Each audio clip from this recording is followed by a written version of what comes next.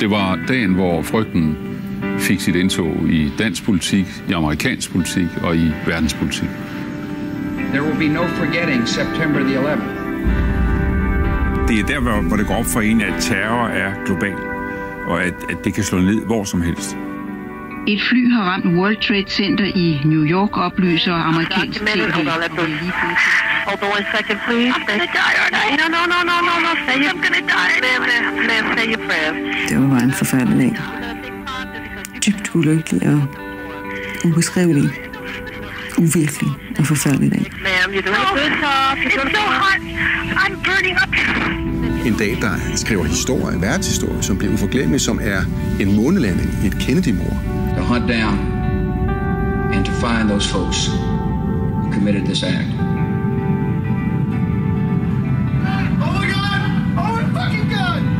En dag, der ændrer os alle sammen. Ændrer vores syn på, øh, på øh, hvad krig og fred er. Og ændrer vores syn på øh, vores egen sikkerhed. Der er dage, vi aldrig glemmer. Dage, hvor vi husker, hvor vi var og hvad vi lavede. En af de dage er 11. september 2001. –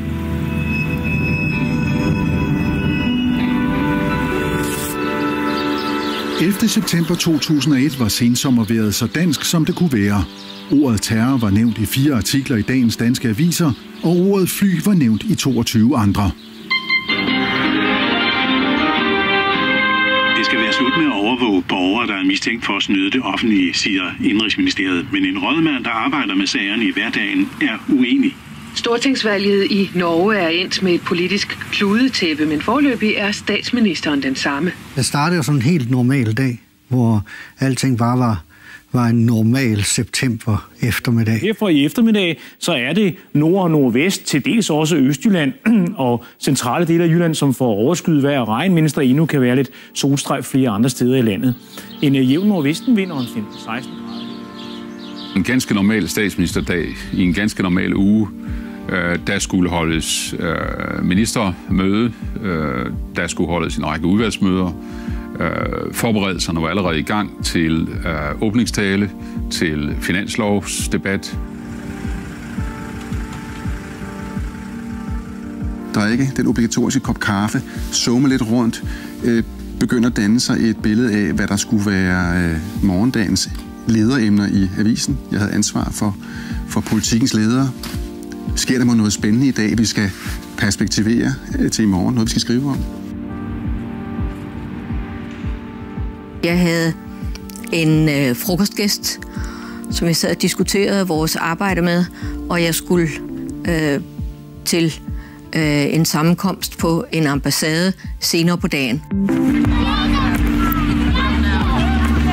Jeg var stået sådan forholdsvis tidligt op og havde pakket min kuffert. Øhm, jeg havde planer om at tage bussen øh, fra bunden af World Trade Centeret ud til lufthavnen. Jeg skulle øh, på ferie i Danmark i et par uger.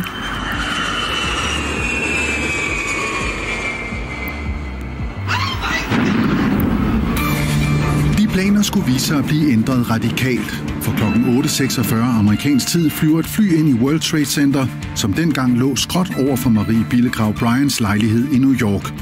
Og pludselig så hører jeg det her enorme brag. Og folk under mig begynder at råbe og skrige og ser totalt forfærdet ud og kigger sådan i sydøstvendt retning. Jeg tror først, at der er sket et eller andet med vores bygning. Øhm, min kæreste vågner selvfølgelig, og i et øjeblik, der løber vi forvirret rundt i lejligheden. Øhm, indtil vi får øje på hullet i, øh, i Nordtårnet. Tre minutter senere, kl. 14.49 dansk tid, står en flok journalister på TV-avisens redaktion og ser måbne på CNN. This just in, you are looking at a, obviously a very disturbing live shot there. That is the World Trade Center, and we have unconfirmed reports this morning that a plane has crashed into one of the towers of the World Trade Center. CNN Der sidder alle og kigger op på en skærm på CNN. Det ryger fra World Trade Center. Og så sidder man og snakker om, hvad kan det være? Øh, jamen, det er et fly. Okay, hvordan fanden kan et fly støde? Altså, hvad er nu det for noget? Så tænker man, det må være et lille fly, der er min en fejl øh, har undervurderet tårnets højde et eller andet. Og folk begynder sådan, nej, det er terror, og, og det, det er sådan, så er vi nogen, der siger, ah, hold nu op, altså. Ro på. Der er en eller anden idiot, rigmands søn, der ligger og fløjet rundt, og, og så er det gået galt for ham. Nu må vi... Og vi har ingen oplysninger, vi ved jo ikke noget. Bare meldingen om, at, at der var en flyver, der var banket ind, en stor flyver, der var banket ind i det ene tårn, ikke? det var jo, hallo, ned, hvad sker der? Radioavisen. Et fly har ramt World Trade Center i New York, oplyser amerikansk tv, og vi har lige fået telegrammet og vil give flere oplysninger i radioaviserne senere. Vi fløj jo selv med øh, Boeing 767 dengang, så jeg var jo ikke i tvivl om, at altså, der gik jo rygter om, at det bare var et af de små fly, der ligger og flyver turister rundt, eller en helikopter eller noget, men det, altså man kunne tydeligt se på skærmen, at det var, ikke, det var en alvorlig sag, den der.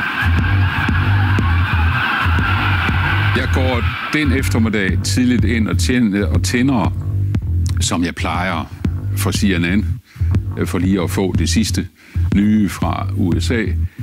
Og kan ikke helt forstå, at, at øh, det, der, er et, der er et billede, der, der hele tiden fokuserer på World Trade Center, og ud af det ene tårn øh, er der røg. Jeg tror, det er en overgang. Det er, det er en fiktion. Indtil min øh, ministersekretær og leder af mit ministersekretær, Pulling Lav, ringer og siger, det er terrorangreb, der er fundet sted. Øh, jeg siger med det samme til hende, øh, bed øh, Johnny, min ministerchauffør, om at hente mig så hurtigt som muligt. Og fra det tidspunkt går øh, min egen indre øh, målrettede tankegang i gang om, hvad skal der så ske nu? Hvis det der er et terrorangreb, hvad skal jeg så som landets statsminister foretage mig? Hvad skal jeg sætte i gang? Godt 20 minutter senere får Marie Billegrav Bryan den næste skræmmende oplevelse den dag.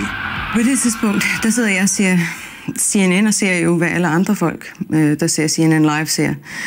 Det her fly, der flyver ind fra vest, sådan om bag den nordlige bygning, og så den her eksplosion i det sydlige tårn. Og jeg husker, at jeg tænkte, er det et replay? Eller hvad var det lige, der skete der? Men de har en øh, person øh, live igennem for, øh, øh, til studiet, fra foden af, af World Trade Center, som reagerer på eksplosionen. Og på det tidspunkt kan vi ikke rigtig høre noget, fordi der er sirener fra brandbiler og ambulancer omkring vores bygning. Wait, so hold on just a moment. We got an explosion inside. The building's exploding right now. You got people running up the street. Okay. On, I'll tell you what's going on. Okay, just uh, put, put Winston on pause there for just a moment. Okay, while the he- whole building just exploded some more. The whole top part. Okay. The building's still intact. People are running up the street. Og jeg tror, at øh, tv-journalisten øh, ligesom slår fast, at det højst sandsynligt er en eksplosion fra flyet, der røg ind i det nordlige tårn. Og jeg husker, jeg bare sad og tænkte, jamen, hvad skete der lige med det fly? Man så komme ind fra vest. Hvor blev det af? Mens vi kigger på fjernsynet og forbereder, hvad vi, hvad vi kan gøre, og så rammer det næste fly jo. Og så er vi jo ikke i tvivl om, at det her det er, det er rigtig, rigtig skidt.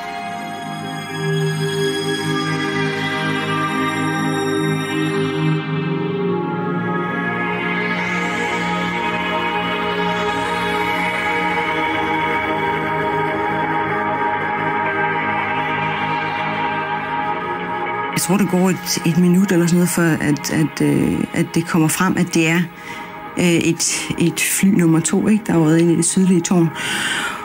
Og jeg løber ind til min kæreste, der står på et af vores øst, østvendte værelser og øh, kigger på World Trade Center og snakker i telefon med sin bror fra Canada.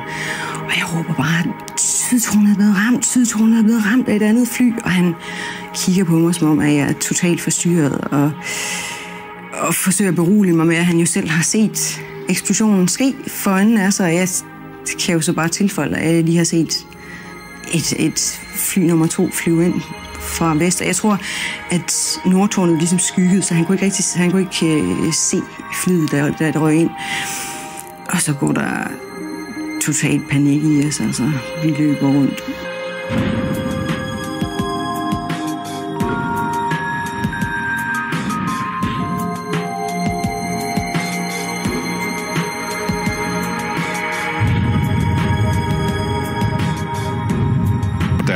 Da brager ind i tårnet, øh, var der ikke mere tvivl. Det her var et terrorangreb. Øh, mine værste, værste anelser øh, havde nu vist sig at holde stik. Så greb telefonen øh, for lige at sikre, at underretninger til dem, der skulle underrettes, var sket. Så jeg ringede til justitsministeren og til rigspolitichefen i den rækkefølge og talte med deres sekretær og fik at vide, at de var lige blevet orienteret, og de så fjernsyn begge steder. Det er utrolig vigtigt, at man så samtidig får i gang sat alle de mennesker, der skal sættes i gang for at tage højde for den værste situation, nemlig at Danmark kan blive inddraget i et terrorangreb, at det her er en global terroraktion.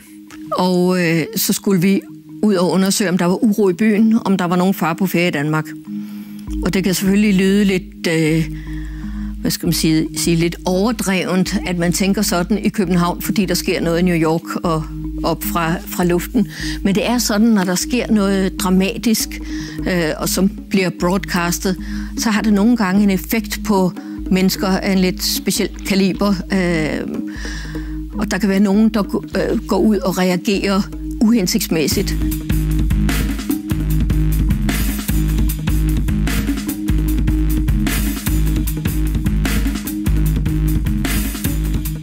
Var jo totalt chokeret. Vi kunne, altså, det var jo så, så uvirkeligt, at man ikke kunne forholde sig til det. Øhm, altså, det, og så var det jo dragen, man kunne ikke tage øjnene fra det heller vel. Det var jo bare ligesom, der var de der to huller. Og, og på det tidspunkt, øh, altså, tænkte vi overhovedet ikke på, at der var folk inde i bygningen. Jeg tror, vi ligesom, måske lidt naivt, at bare havde forestillet os, at de var blevet rømmet, ikke? På det tidspunkt. Øhm, vi begyndte at diskutere, hvad nu hvis tårne faldt i den ene eller den anden retning, og hvad nu hvis det faldt i vores retning? Så ville vi jo blive kvæst. Øhm, at det var, det var totalt umuligt at forholde sig til, til den virkelighed, der udspillede sig for os. Det var, det var for abstrakt. I SAS operationscenter i lufthavnen i Kastrup har man fem fly hængende over Atlanten på vej mod USA. Fra, fra vores side begynder vi at vurdere, hvis vi nu vender vores fly, hvis nu man lukker luftrummet, det var ligesom det, vi havde en fornemmelse af, øh, og vi vender vores fly, hvor kan vi så få dem ned henne? Øh, fordi at, øh, det er måske en dårlig idé at få, få dem ned over i USA. Rundt om på landets nyhedsredaktioner gør man sig klar til at ændre radikalt på dagens historier. Det øjeblik, der er to fly, så er man jo godt klar over, øh, også når man arbejder på en redaktion, hvor alt handler om politik og værdier, og det hele er, er gearet mod, hvad er for alvor nyt, også i verden. Der ved man jo, det her, ikke? Det ændrer alt. Altså, den store supermagt er ramt i sit hjerte. Ukendte fjender har været i stand til at styre fly ind i to skyskraber, symbolet på USA's almagt i verden. Større bliver det sådan set ikke. Vi sidder jo og kigger på skærmen. Vi ser jo, der kommer og så det der kæmpe øh, eksplosion. Og der sidder der så en, øh, en cool redaktør, og han siger bare sådan helt nordjysk tørt, det er fandme terror, vi går på. TV-avisen går i luften med en ekstra udsendelse omkring kl. 15.20. Og kort ind i udsendelsen bliver danskerne præsenteret for navnet på en mand, de vil høre meget om de næste mange år. Osama Bin Laden er øh, fra Saudi-Arabien. Han er rigmand. Hans far er en stor formue. Han har selv haft rådighed over en stor formue. Og det er en af grundene til, Uh, nu hører vi lige, at øh, uh, FBI, det amerikanske forbundspoliti, arbejder med en teori om, at uh, flyene kan have været kidnappet og uh, er blevet uh, fløjet ind i World Trade Center imod pilotens uh, vilje. Så tænker jeg, at han ved alt om alt inden for terror øh, godt World Trade Center. Og så tager jeg den store, gyldne store leksikon, sidste bind, slår op World Trade Center, smider det på en fotokopimaskine, og så tager jeg så en fotokopi. Jeg tænker, jeg er nødt til at have et eller andet. For lidt over en halv time siden, så ramte et Boeing 737 passagerfly, ramte det ene af tårnene i World Trade Center, og et kvarter senere, der rammer et fly mere World Trade Center, og det vil sige, at begge tårne står i brand omkring 80. 20. etage. Bygningerne er på 110 etager. Der arbejder 50.000 mennesker i World Trade Center. Og øh, nu skal vi have en telefon igennem til den danske konsul. Ja, generalkonsulen skulle det vist være ja. i New York. Lad os se, om det er tilfældet. Det er det. Han sidder her. Hallo? Ja, goddag. Dag. Du taler med studiet i København. Ja. TV-avisen, ekstraudsendelse. Ja. Hvad ved du på nuværende tidspunkt? Nogenlunde det samme, som I ved, med lokal kolorit på selvfølgelig. Uh, Uh, undskyld, uh, vi bliver nødt til lige at afbryde. Vi holder fast i dig og vender Ja. ja. tilbage til dig lige om et øjeblik. Og har vi uh, billeder igennem? Og billeder igennem. Amerikanske præsident? Ja, det er præsident Bush, der nu er gået øh, på tv, på amerikansk tv også her. Lad os lige lytte med. Find those folks who committed this act. Terrorism against our nation will not stand. And now, if you join me in a moment of silence. Stemningen i studiet er meget intens, sådan at forstå, at alle er fuldstændig stille og rolige. Ingen ved noget som helst. Og det er ligesom, der er nogle tidspunkter, hvor kamerafolk gør sig virkelig usynlige. Og det gjorde de der. Der er ikke noget, man overhovedet bliver afledt af. Der bliver ikke sagt ret meget, så vidt jeg husker, i øresneglen, for der er ingen, der rigtig har noget at sige.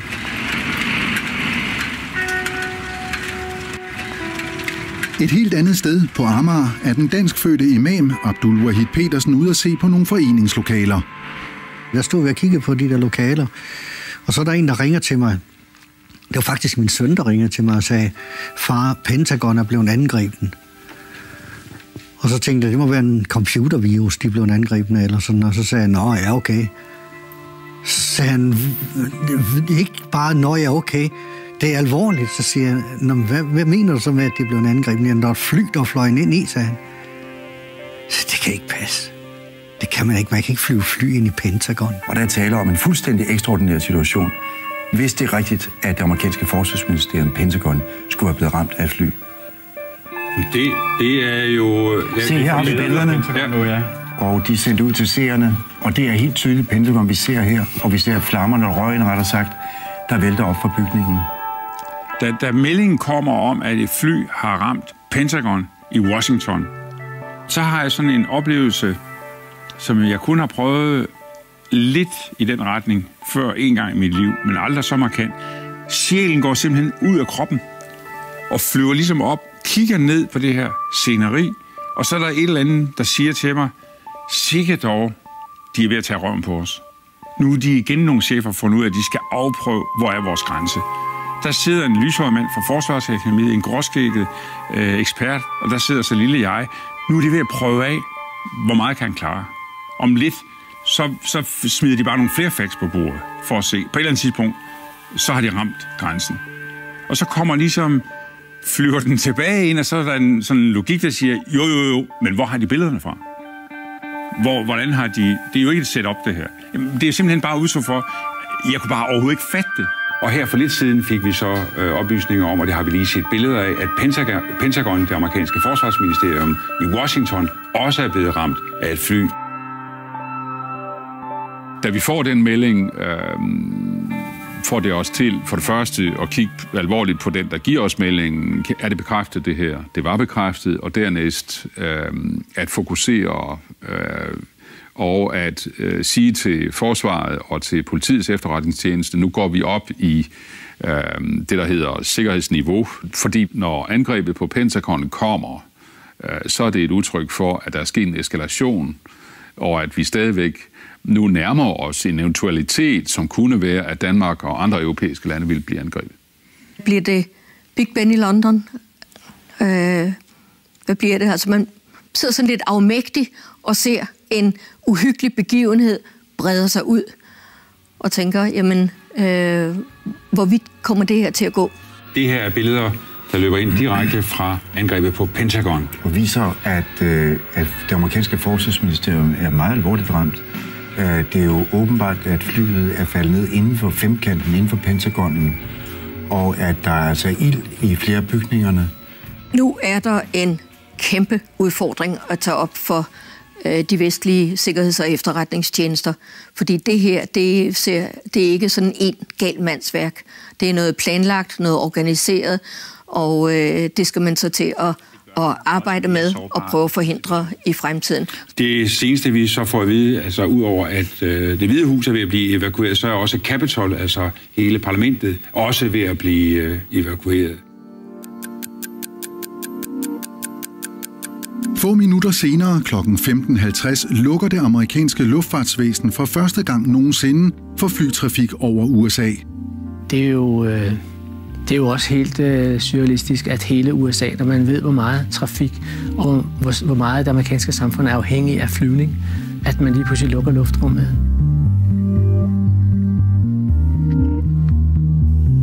Vi fik hurtigt fat, skrevet til de fem fly, vi havde i luften, og prøvede at få dem vendt. Vi havde også to fly holdende med passagerer ombord her i Københavns Lufthavn. Uh, en på vej til uh, Seattle og en på vej til Chicago. Og dem holdt vi på jorden.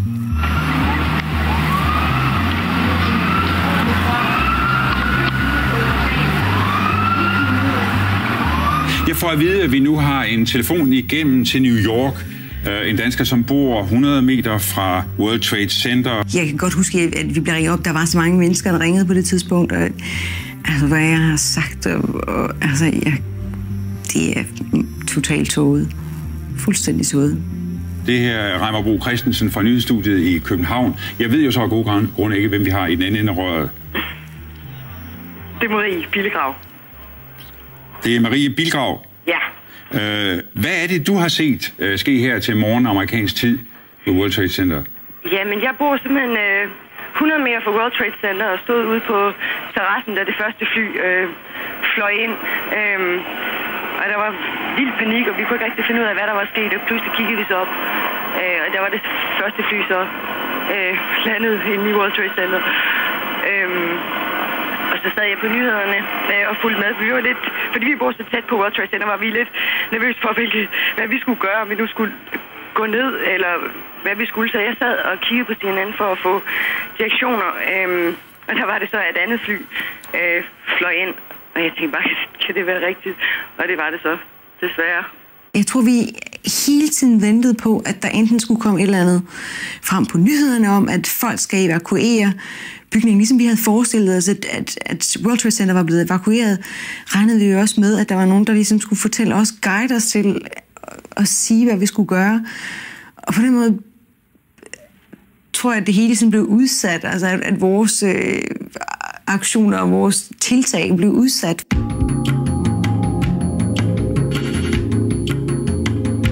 Af de fem fly, der var på vej over, der lykkedes det for, for os at få de fire vendt.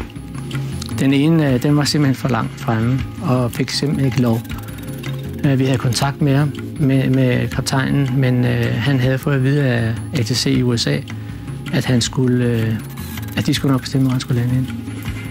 Og han fik i første omgang at vide, at han skulle gå til Gander, Canada, men resultatet blev Halifax.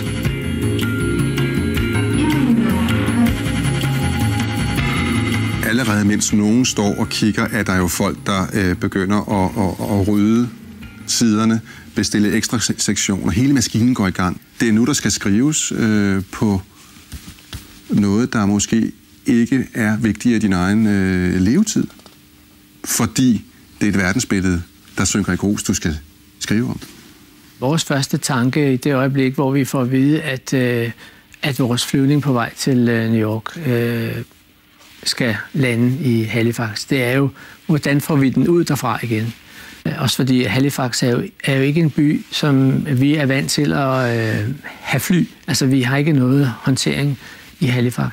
Altså, jeg kan huske, at jeg arbejder med, hvordan skriver jeg det her på den rigtige måde? Fordi det er både noget, der ændrer vores verden, og det er øh, et, et vidneudsagn, der har at gøre med nogle folks meget voldsomme død.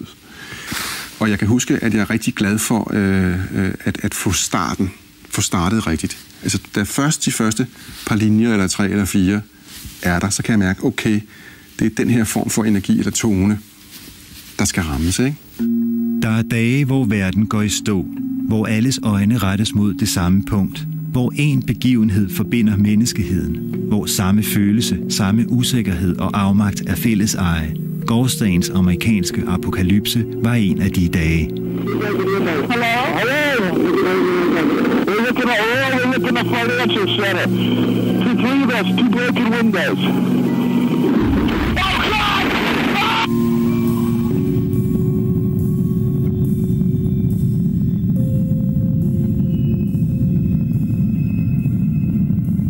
Da det sydlige tårn falder sammen, der står vi jo bare måbende. Altså, kan jeg ikke tro, hvad vi ser. Øhm, og der kommer den her, jeg husker, der kommer den her sådan store, det grå, hvad hedder det, sky hen imod, sådan ganske langsomt. Og så pludselig kan vi bare ingenting se. Ikke andet end de der hundredvis af hvide papirer, der er klæbet op mod vores ruder.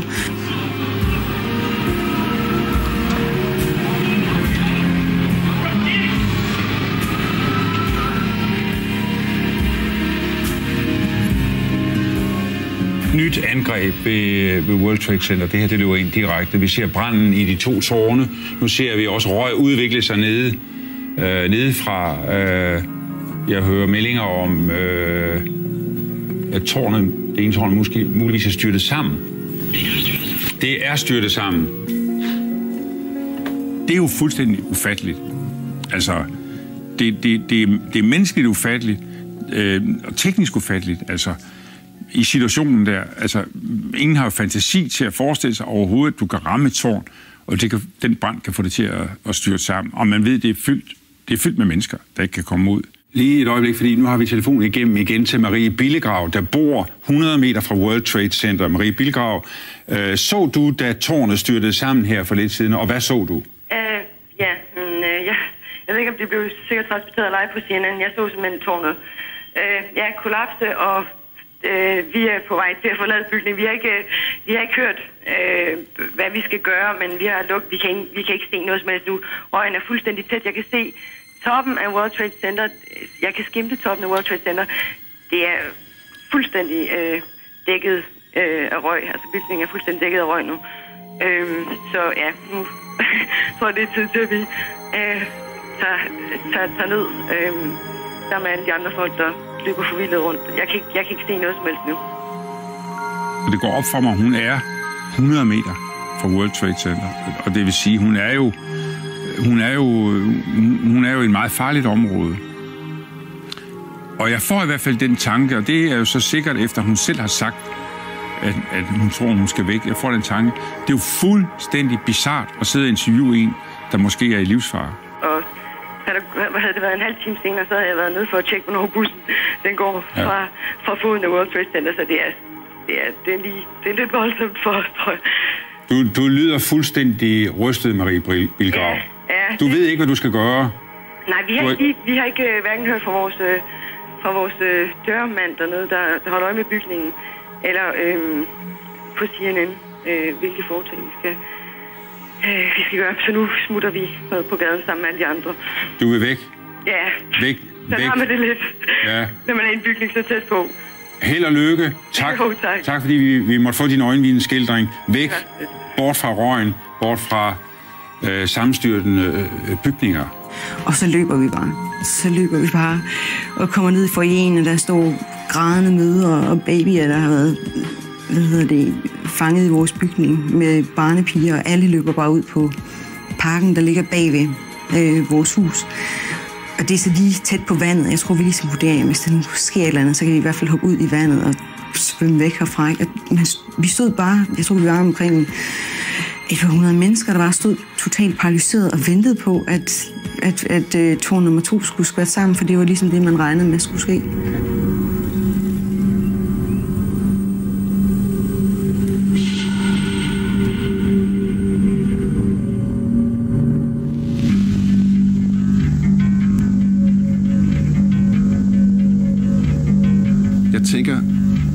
Vidt jeg husker, hele tiden på, at efter det første tårn er faldet, ikke?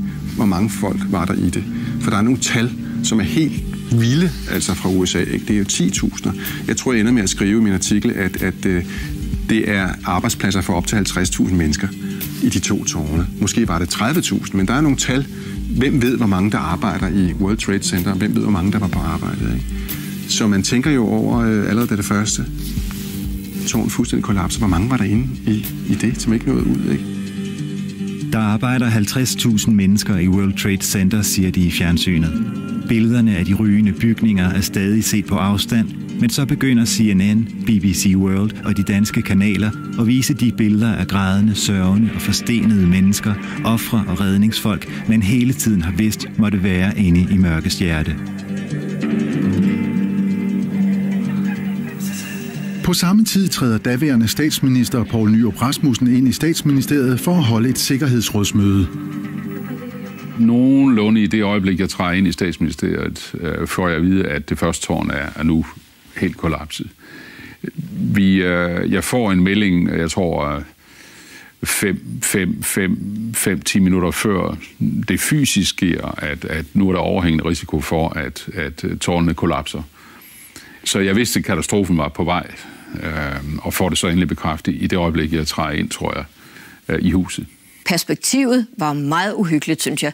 Bestemt ikke noget, øh, man tog fat på med glæde. Det, der sker på, på det øh, sikkerhedsmøde, øh, regeringens sikkerhedsudvalg, det er, det er, at det går op for alle, hvor alvorligt det her det er, hvor omfattende det er, og hvor stor risici der er involveret. Alle var jo opskræmte øh, og forfærdede over, hvad der var sket. Øh, så det var en, en dyster stemning. Anspændt, øh, men, men koncentreret. Alle ved, hvad det er for en opgave, de går til, og alle er meget, det slog mig meget, meget opmærksom på, at der ikke er tid til øh, overflødsnak. Kongehuset skal sikres, og det ved vi, hvordan man gør. Øh, og øh, de centrale øh, beslutninger i forsvaret og i regeringskontorene skal sikres, og det ved vi også, hvordan man gør. Det er ikke det sværeste. Det sværeste er at få håndteret de civile mål, at få dem overvåget først og fremmest, og få dem sikret så godt vi kan. Det vi får at vide nu, det er, at USA er gået i, som det hedder, war level, altså krigstilstand. Ja. Hvad betyder det, Thorsten? Jamen det betyder, at alle øh, altså, øh, militære myndigheder er i, øh, i højeste alarmberedskab, og det betyder, at, at når man taler om øh, fly, så er de på vingerne, når man taler om øh, skibe, så forlader de havnen. Altså at alle er parate til at kunne angribe hvor som helst, hvor man kan sige, at man her øh, sidder de skyldige parter. Reelt definerer vi det jo som en krigshandling fra en tredje magt, der angriber en NATO-allieret. Og det vil sige, at øh, i forsvaret er der indbygget en række forudset øh, alarmreaktioner, øh, reaktionsmønstre, som sammen med politiets efterretningstjeneste går i gang. Det vil sige, vi går også op i øh, sikkerhedsniveau og i aktiveringsniveau.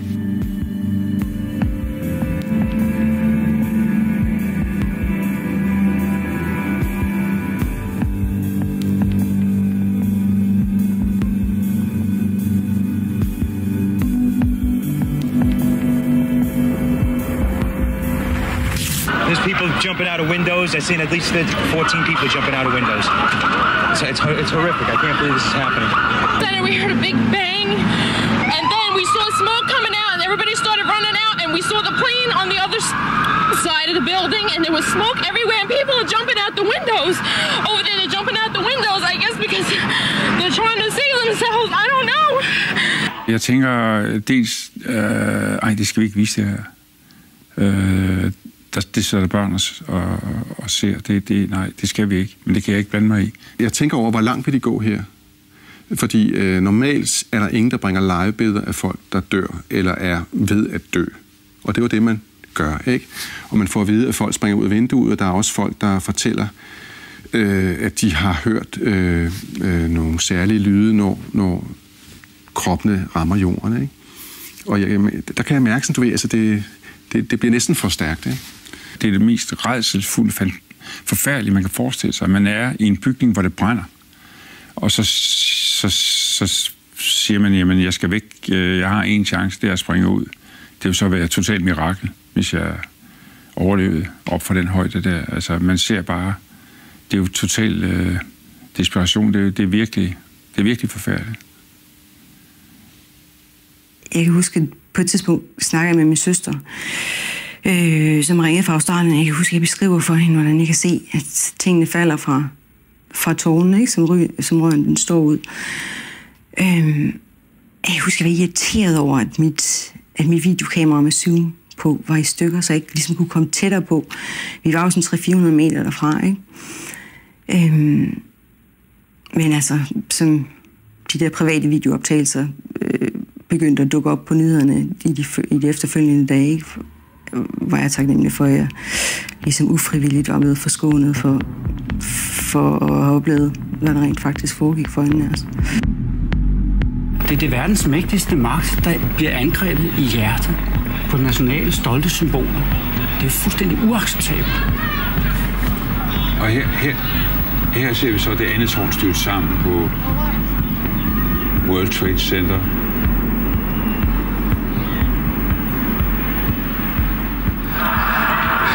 The second yeah. and last tower of the World Trade Tower has just collapsed. It is about 10:30 Eastern Time, and the tower has collapsed. Nogle efter at tårn nummer to falder sammen, der rykker vi langs vandet og ud på West, West Street, hvor folk kommer gående, dækket i støv med deres arbejdsmapper og blod og brandfolk på borger. Og det er jo en frygtelig virkelighed, der, der pludselig øh, møder os der, som vi slet ikke har, altså, har kunne forestille os, da vi står inde i vores lejlighed. Kollapset af andet tårn kom, kom øh, lige over posen egentlig ikke som, som en total overraskelse, fordi vi har jo set, at, at begge tårne var, var blevet angrebet af de her to selvmordsfly. Og derfor, derfor øh, som, som det så ud, var det, ikke, var det ikke totalt overraskende, at det andet tårn også ville bryde sammen. Men var, en, var igen en bekræftelse af, hvor hvor, hvor stort uh, et, et, et folkedrab, der jo virkelig var tale om her. Det var tusindvis af uskyldige mennesker, der mistede livet. Vi er kommet over nogle grænser, hvor man tænker, at alt, alt kan ske. Eller man tænker måske mere, hvad bliver det næste? Og at igen den samme øh, knugende fornemmelse øh, i, i maven af, at, at det her det er, øh, det er en begivenhed af, af dimensioner, som, som får afgørende indflydelse på, på utrolig mange ting øh, derfra frem efter.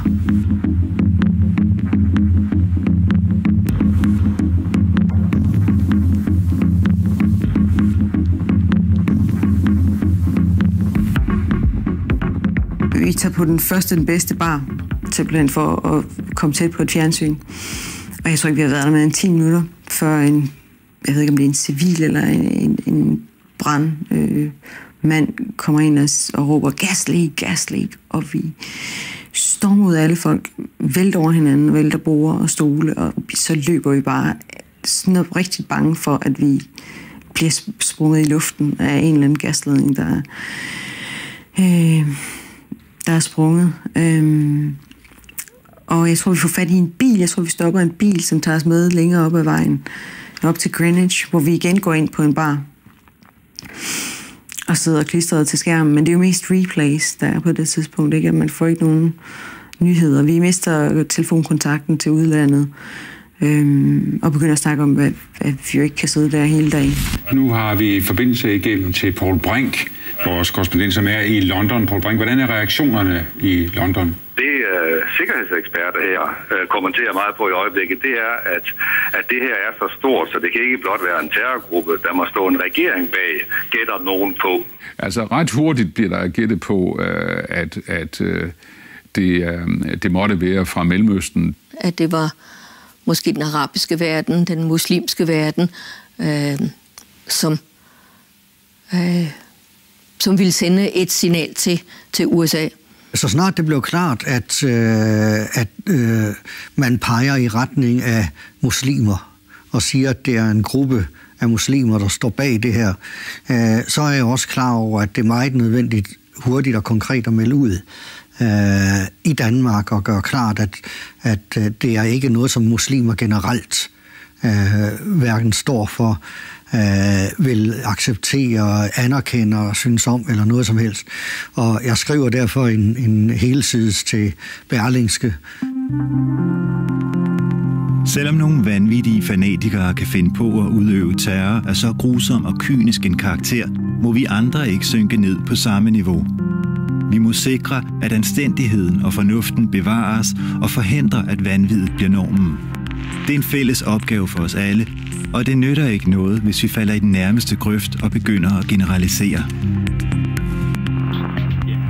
Almindelige amerikaners øh, reaktion vil, vil ofte være jamen altså, let's get rid of the bad guy, ikke? Altså, og det med, med fuld kraft, ikke? Ja, og nu er øh, Poul Nyrup Rasmussen på talerstolen. Jeg har på øh, nuværende tidspunkt øh, følgende at meddele på øh, den danske regeringsvegne. Må jeg sige, at der er tale om masseterrorisme, udført med grusom kynisme og uden hensyn til de tusinder af mennesker, vi desværre må frygte nu, har mistet deres liv. Jeg betragter det ikke alene som et angreb på USA. For mig er det et angreb på hele det demokratiske verdenssamfund. Vi er oppe imod en umenneskelig fanatisme. Nu skal de demokratiske samfund stå sammen. Det var meget stort og nyt.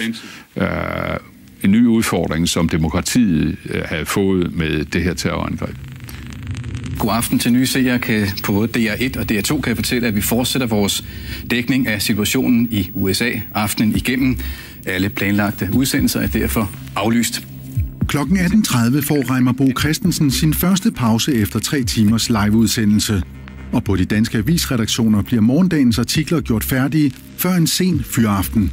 Det er sådan noget med egentlig at være træt og smadret, men at have øh, et eller andet øh, behov for at følge med i nyhedsudviklingen. Det er svært, at, og, og, og, jeg kan huske, det er svært at trække stikket ud, ikke? Og, og, og bare slappe af. Ikke? Hos PET gennemgår man dagen og gør sig klar til en travl fremtid. Der bad jeg min sekretær om at aflyse alle aftaler. Og jeg stregede alle private aftaler i min kalender forløb i september måned ud. Sådan at jeg kun stod til rådighed for regeringen, eventuelt internationale møder eller, eller andet. Men alle tidligere trufne aftaler, de blev cancelet, så jeg kunne koncentrere mig kun at arbejde om det her store og vigtige og skræmmende. I lufthavnen hos SAS er der igennem aftenen stadig fly, der skal omdirigeres. Israels luftrum lukkede jo også. Vi havde en flyvning på vej til Tel Aviv, som vi også skulle finde, finde ud af, hvad vi ville gøre med. Den, den landede vi i Larnaca. Vi havde samme aften flyvninger til Fjernøsten, og øh, dem fløj vi også af, af en, en længere sydligere routing øh, til Fjernøsten, fordi vi skulle udenom Israels luftrum. Og øh, jeg husker ikke præcis, om man havde lukket øh, øh, irakisk og afghansk luftrum, men, øh, men vi fløj i hvert fald udenom det også. Og i New York er det blevet sen eftermiddag, og Marie Billegrav Bryant er på vej hen til nogle venner og går op gennem Manhattan. Som vi bevæger os længere op, Altså, jeg huske, det var totalt surrealistisk. Jeg kan huske, at vi kommer til 42. gade, at jeg ser det her par, der sidder og spiser krabsehæler og drikker hvidvin på et gadehjørne. Jeg bare tænker, det kan, man kan ikke lade sig gøre. Altså, det er jo et par timer efter, at, at uh, tonen er faldet sammen.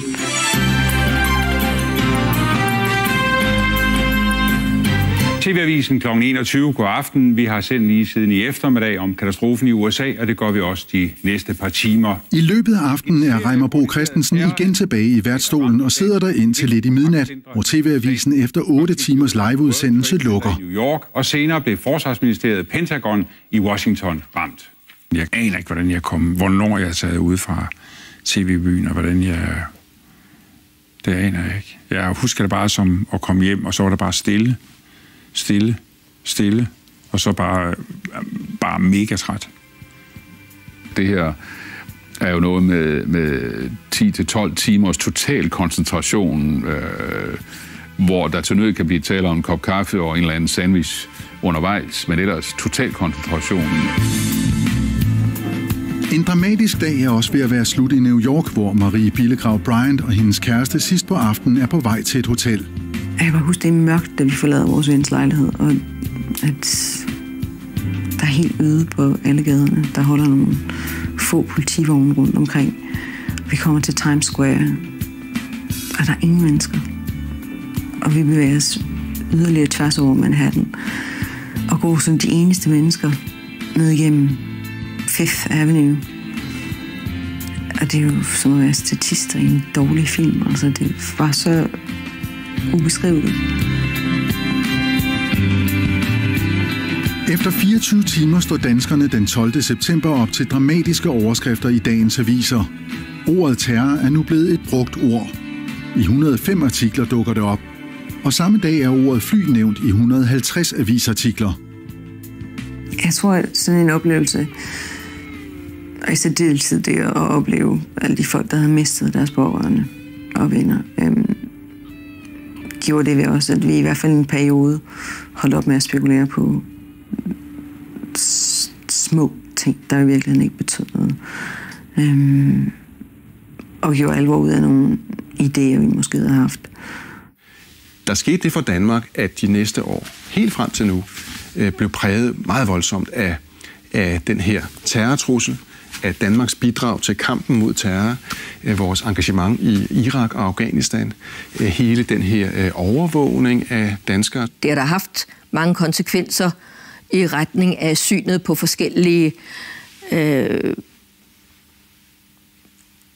hvad skal jeg sige, på forskellige øh, grupperinger. Det bliver nemmere at generalisere over for muslimer, og også at, at blive meget øh, eksplicit øh, og, og, og ubehagelig i sin måde at formulere sig omkring muslimer på. Den 11. september betyder, at, at vi sikkerhedsmæssigt, udenrigspolitisk, forsvarsmæssigt, globalt får et chok, som vi først langsomt, langsomt nu, øh, alle de år efter, begynder at få over i, øh, kan man sige, en mere tænksom behandling af den her planet og af os selv. Jeg øh, tog til Sydafrika og, og købte en motorcykel. Og rejste 20.000 km op gennem kontinentet alene og tænkte lidt over livet. Og Jason, øh, jeg tror i mellemtiden besluttede sig for, at han jo nok heller måtte fri til mig, så han fløj ned og fred. 11. september 2001 blev et døgn, vi aldrig glemmer. Der omkom 3.017 mennesker, her i 19 flykabre under terrorangrebet på World Trade Center og Pentagon. Der skete det, at vi sendte jo afskillige timer den 11. september, og vi kørte jo på den 12. og den 13. Og så har jeg senere fundet ud af, at det faktisk var den 14. september, at jeg kom til at tænke på Marie, som jeg havde interviewet. Øh, og hvad skete der egentlig med hende?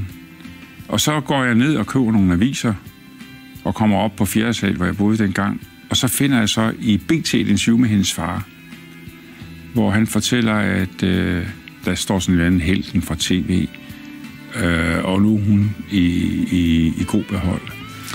Og øh, altså, jeg får faktisk en klump i halsen, når jeg fortæller det nu også, fordi altså, der, der, der sad jeg simpelthen helt alene den morgen der og græd øh, og reagerede. Altså, det var der min reaktion på den her tragedie, på det her redsels døgn, det kom, fordi at det var ligesom der, der var plads til det.